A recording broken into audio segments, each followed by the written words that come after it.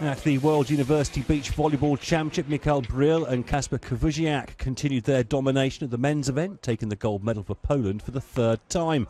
The Poles pushed hard by Swiss pair Gabriel Kissling and Mikael Zandbergen in the first set, but eventually came through 22 to 20. The second set much easier going for Bryl and Kujawiak, easing to the title 21-12 to add to their gold medals in the 2012 World Youth Championships and the under-21s in 2014.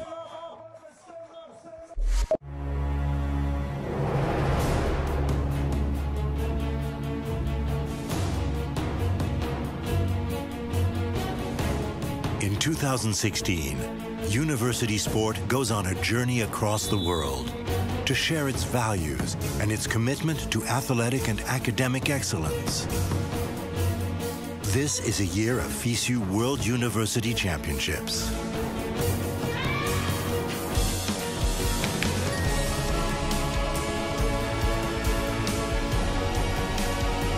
More than 8,000 students will compete at the 34 events organized in 25 countries, sharing and chasing their long-held dreams.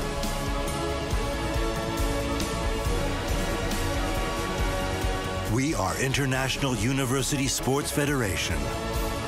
Follow your champions. FISU, today's stars, tomorrow's leaders.